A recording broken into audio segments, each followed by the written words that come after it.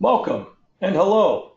Welcome to the Go Plan video library that includes Greenleaf Financial Fitness Series and other financial professional series involved with personal financial wellness. This series, along with other videos, will be posted on our Go Plan YouTube channel, websites, and other social media outlets. My name is Jim Hiles, and as your host, I think it's important to highlight what financial wellness is and how tools like Go Plan 101 can help Americans achieve their goals and wishes. So, what is financial wellness? It is defined as the overall financial health of an individual. What it does for you is probably most important. It helps you increase understanding all things related to money. It can also help decrease stress, help you make better decisions, and perhaps most importantly, keep you on track as things change in the future. What's Go Plan 101? Well, Go Plan 101 combines web technology, and educational content with behavioral change solutions, free software, and a huge resource center full of focused responses. Translation? Simple. GoPlan 101 is a cool site that helps people deal with their money issues so they can do what they want to do. And you also have the capability on our site to talk to a coach or go right to the resource. At the end of the day, financial wellness is only as good as the actions taken. So sit back, relax, and enjoy the video.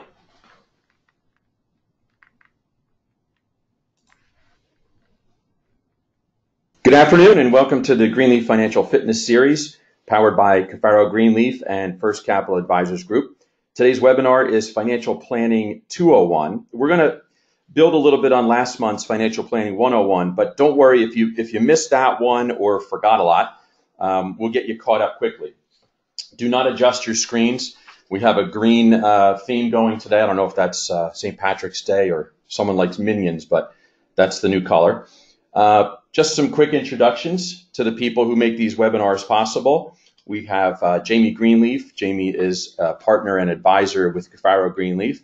Jim Hiles here with me today. Jim is a senior partner with First Capital Advisors Group and Greenleaf Financial. And uh, I'm Jim D. I'm a financial advisor with Greenleaf Financial. So let's start with a slide we've seen before and uh, what we see as the three distinct phases of financial planning. Most of us go through life and it looks something like this. In your younger working years, there's a big focus on wealth accumulation. This is where we're focusing on growing our assets or our wealth, retirement plans, and whatnot. Then there usually comes a time when we may no longer be able to accumulate wealth, usually retirement and we enter into the wealth distribution phase. This is where we need to, to turn assets into income for living expenses primarily. And uh, then once we have all of that figured out, we turn to legacy goals, how to transfer, uh, transfer and preserve our wealth for the next generation. We also thought it would be a good idea to take a step back here and just review some of the goals and the benefits when it comes to a good financial plan we see some of the things here that we often hear from our clients. We hear how people want to get organized, have more clarity with their finances, and, and people want to save and invest more, and finally get on a budget. On the right hand side is are some of the things that we, the benefits that we hear people talk about, um, the feelings they have once they have a plan. Now, people feel good when they have a, an increased understanding, they have decreased stress, and more. They feel more in control with their finances. So these are primarily the rewards, um, kind of like the light at the end of the tunnel when it comes to financial planning. So let's quickly get back to where we were last month. And first, we wanted to point out that we have a, a new updated website. Uh, very excited about that, right, Jim? Uh, gfplan.com now looks like um, what we see here on the screen. So we wanted to make sure we everyone saw that so it doesn't look strange if you've been on there before and, and show everyone how to navigate through so you can go and get your personal financial wellness website set up uh, because that's what we're offering here. So go to gfplan.com and click up at the top where you see individual financial wellness.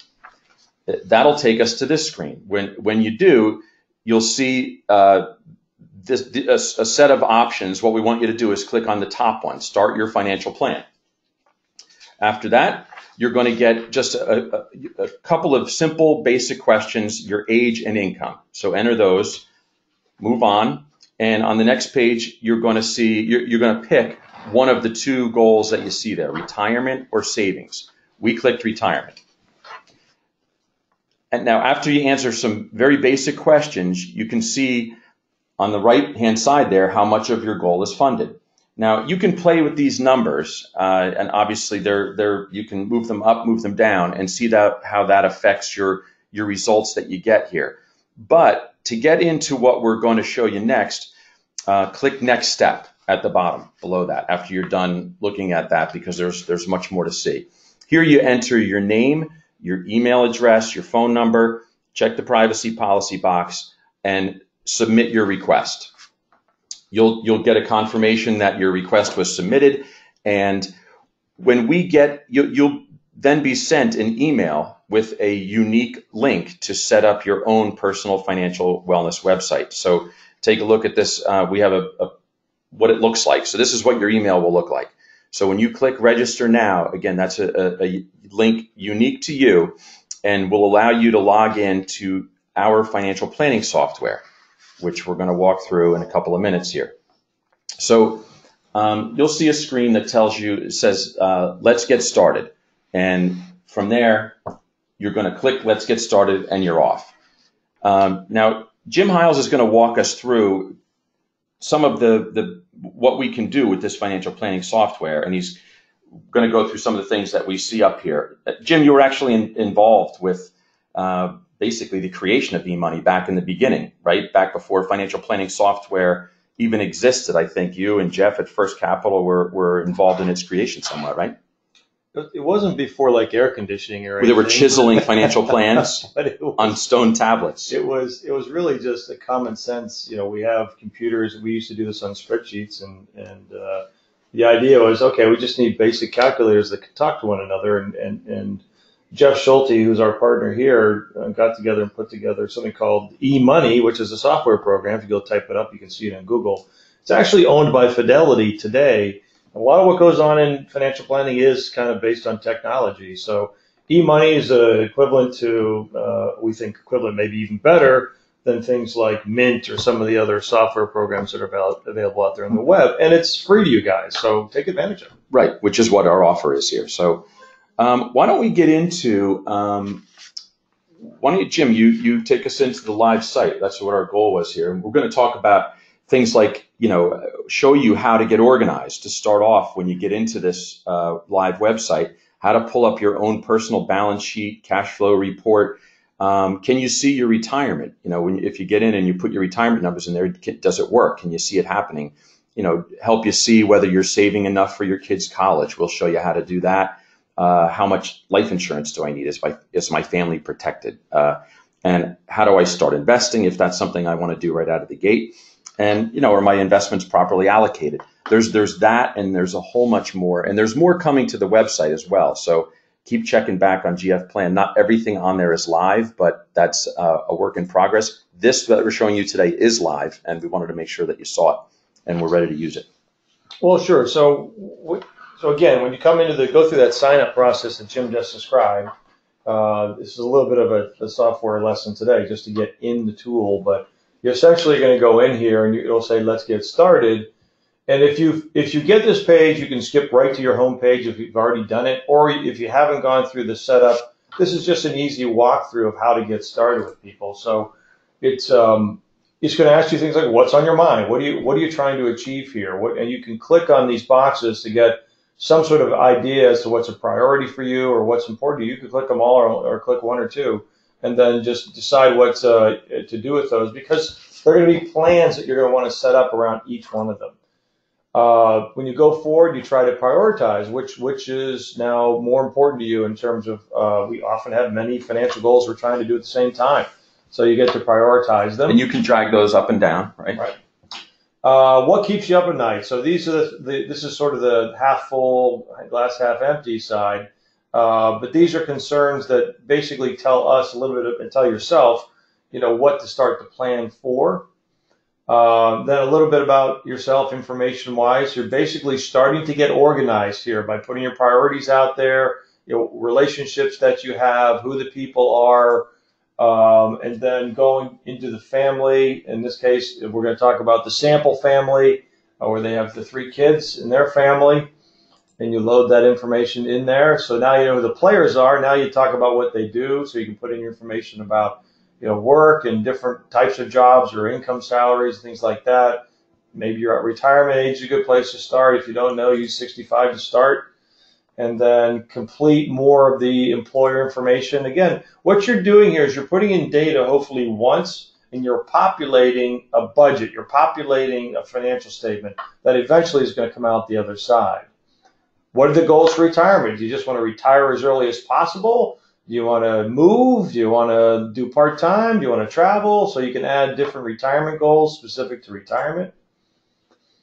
And then, are there any future expenditures you want to do or expenses you may have? Funding an education, buying a car, wedding, elder care. So you have all these different things that you can put in here in terms of goal prioritization.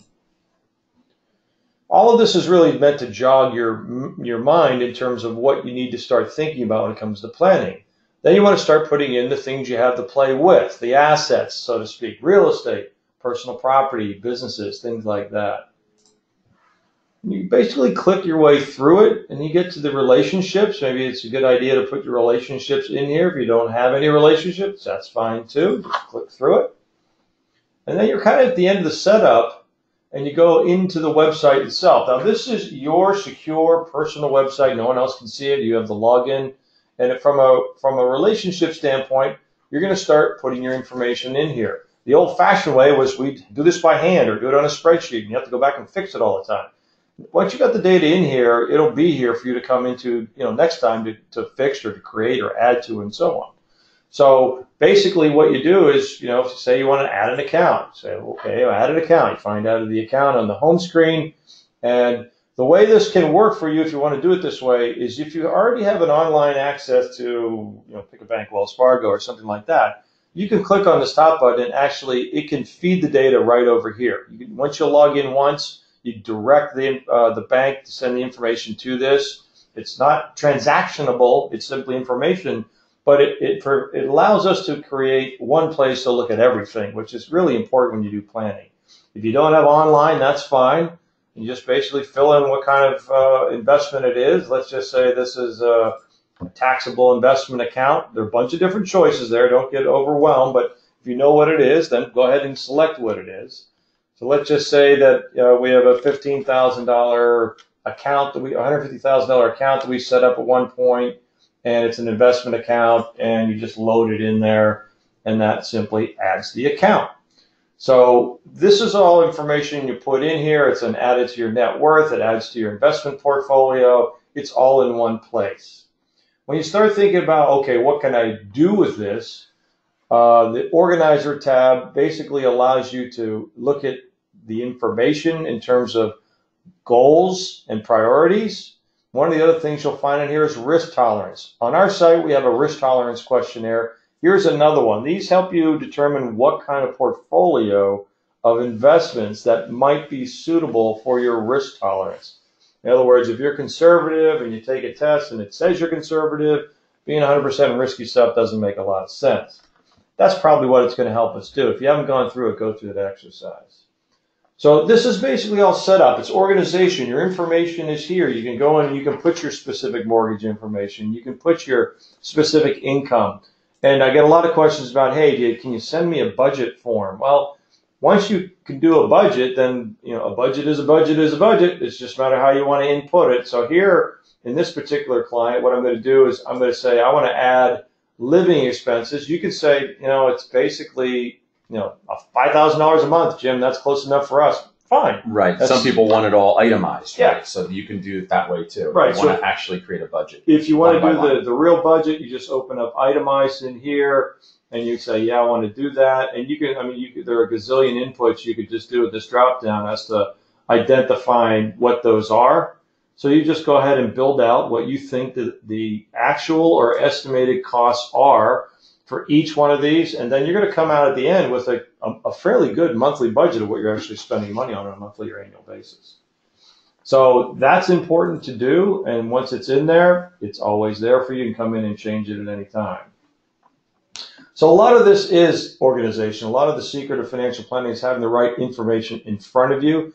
And this tool basically allows you to do just that. And as you go through time, you can make adjustments, additions, subtractions to it.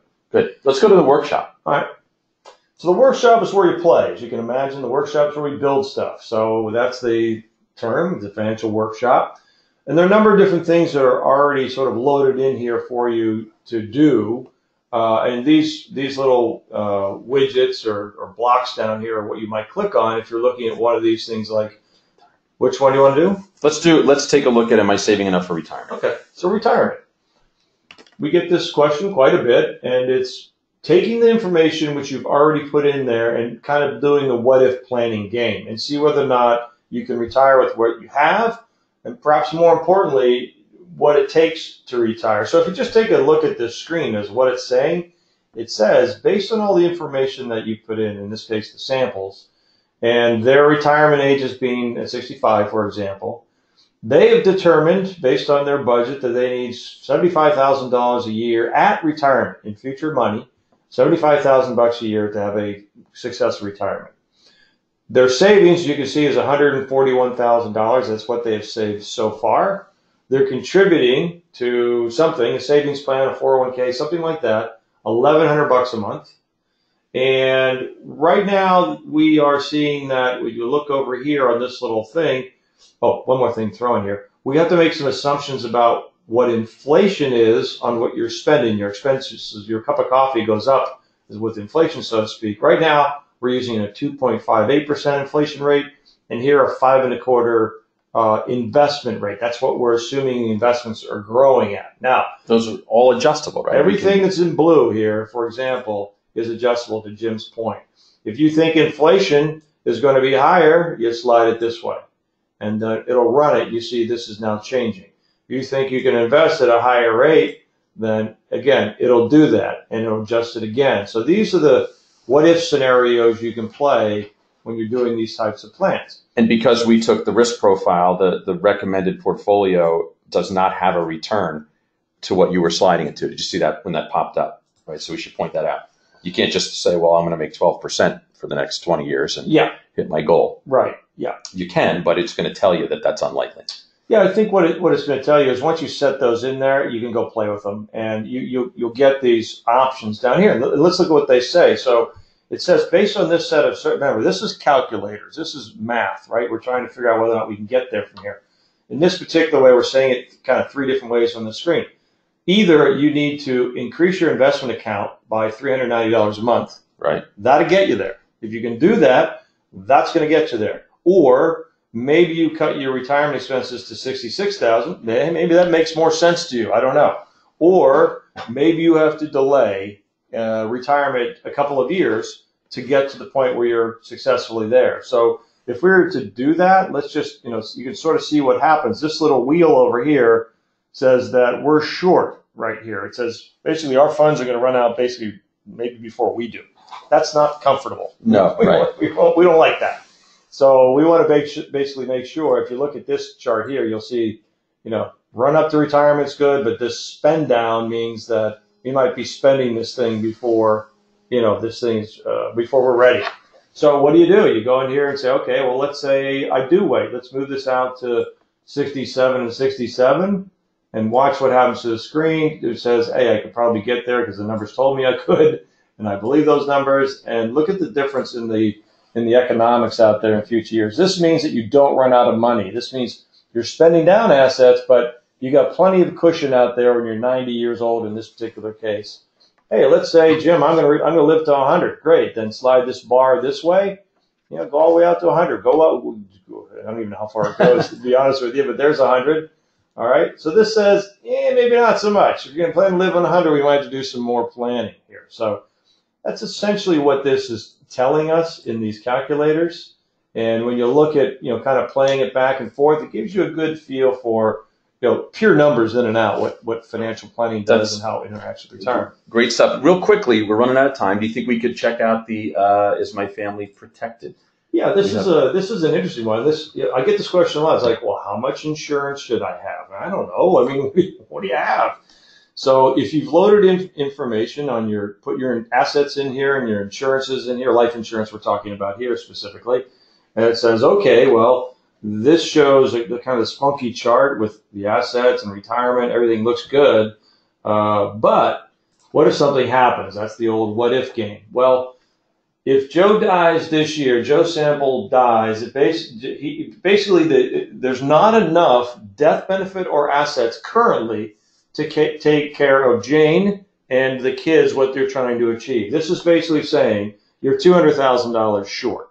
So the answer would be the quick answer is, hey, what if I added another couple hundred thousand dollars of uh, term insurance or whatever the insurance is on here? And, and look at that. And there you go. Now I'm okay. If Joe dies this year and I have a little more insurance, this tells me pretty much how much insurance I should own. So it's a kind of a nice little calculator to figure out with your specific situation loaded in it with the same assumption games that you can play. Uh, so you can change these. You can change your expenses. You can change your rate of return. That, that might show a little bit different picture. Maybe you say, hey, if Joe dies, I'd be more conservative with my money or more aggressive with my money. That might change the impact as well. But that's essentially what this allows you to do. I think we get the point on that. Now let's go. Let's go back to workshop real quick and take a look. I don't know if we have time to show the full uh, college, right? So there are other people on the call watching this webinar that want to know if I'm saving enough for college. So that's another feature to this financial planning software. We can create a goal, uh, choose a child. If you already put your kids in there, it already knows. You can pick a school. It's literally, you know, it'll it'll pull up every school in America for the most part, right? And uh, you or you Yeah. can just use the averages in Well, sure. state, out of well, state. here it is. Let's just do it. So here's, here, I love the name Baby Sample, whatever. I named means. that It's baby. like baby driver, baby sample. I'm not sure what. So basically, education it, it, you pick, it's based on the child's age. You know, basically at age 18 in this case. 2025 four year education. So where do you want to go? Choose a school or put in whatever you want, and it'll basically say, let's say uh, we want to go to Harvard because everyone does or whatever, and you go ahead and load that in there, and that's an out of state because we don't live in Massachusetts, and it basically puts the numbers in as to what it costs, and then you can set up a strategy around that and say, okay, how much do I need to fund? And right now, I'm terribly short. in terms of how much Just- money I need Just a little fund. shy. But you know, it gives you an idea for what to do with that. Right. Okay. All right. So that was great, Jim. Thanks. I think we're out of time. We'd like to have more time to go over this, but that's a lot to cover in 20 minutes. So uh, thank you for participating. So we covered a lot of ground, and uh, let's just summarize. You know, it's time to put this information to work. We live in a wonderful and a free country, but it's up to us to take responsibility and move forward, particularly on our personal financial wellness. So let's take some action here. Let's go and explore this financial stuff. Take a buddy with you if you need to. Have some fun. Learn a little or, or learn a lot about what you can do financially. You know, these videos and websites, I hope you enjoy. I think they're great. But if you're like me, sometimes you just want someone to talk it out with. So seek out coaching from our site from professionals who've been vetted to provide you with complimentary initial consultations as being part of the Go Plan 101 experience. If you've not started your planning, or even if you have, use today's video to explore the area of concentration. Make sure you understand how it impacts you. My favorite quote is life doesn't go in a straight line. You need to stay on top of it. So consider subscribing to our newsletter or our YouTube channel. Please reach out to me if you want more help or have questions. And lastly, thank you for listening. Now, go plan and go attain your financial wellness goals. Jim Hiles signing off for today. Take care.